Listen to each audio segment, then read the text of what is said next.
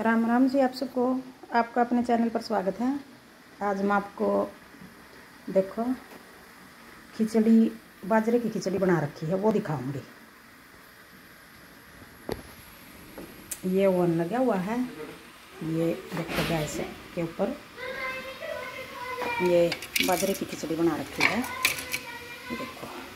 जैसे हम गाँव में बनावे इंडिया में आरे में रख दिया करें, इस तरह की खिचड़ी बनी बिल्कुल। बहुत अच्छी बनी है। चने की दाल डाल के, चावल और बाजरे की, बाजरा कूट के। यहाँ वो तो है नहीं, उखड़ा है, वो आ करें जैसे मोम दस्ता में कूट लें। यहाँ मैंने मिक्सी में कूटी थी। बाजरा कूट के मिक्सी में, पहले लाड़ी उतार ली उसकी, फिर बाजरा थोड़ी देर भिगो कर रख दिया, एक डेढ़ घंटा। फिर बाद में एक दो बार और घुमा के मिक्सी, और वो कूट सी दिया, जैसे हम उखड़ में कुटा करें माम दस्ता में कुटा करें। तो फिर साथ में ये देखो गाजर पाक भी बना रही हूँ।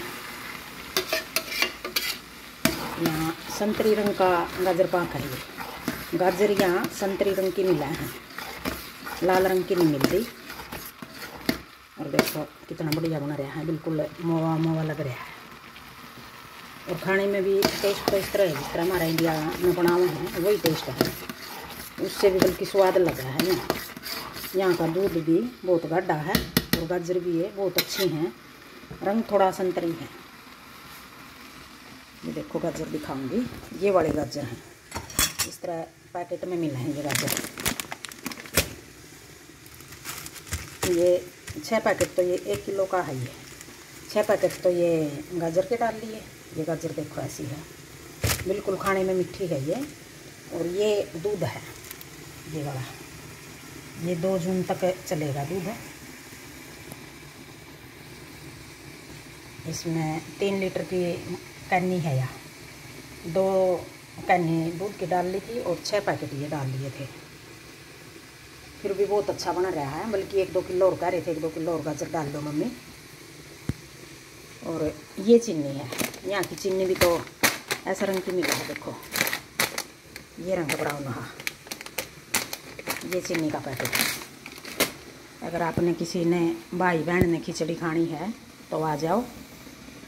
और देख के बताना कमेंट करना कि खिचड़ी कैसी बनी हुई है। और जिसने गाजर पाक खाना है, वो भी आ जाओ। बन गया भी ये। बन भी अपने इंडिया में तो बहुत टाइम लगा है, ये गाजर पाक बनाने में। यहाँ तो बहुत जल्दी बन गया। पता नहीं क्या बात है, जैसे हम छोले भी बनावा हैं यहाँ, तीन चार सीटी बना मरवा हुआ वैसे उसमें। जल्दी बना है यहाँ। सारी चीज़ें पानी का होगा शायद। कोई हिसाब।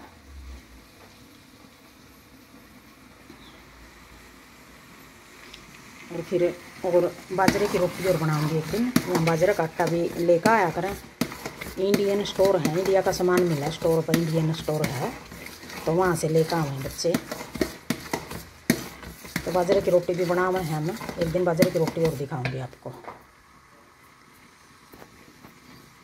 यहाँ सर्दी है, जैसे हमारे वहाँ दिसंबर नवंबर, दिसंबर में होया करें। ऐसी सर्दी हो रही है अब। अपने इंडिया में तो बहुत ज़्यादा गर्मी हो रही है इस टाइम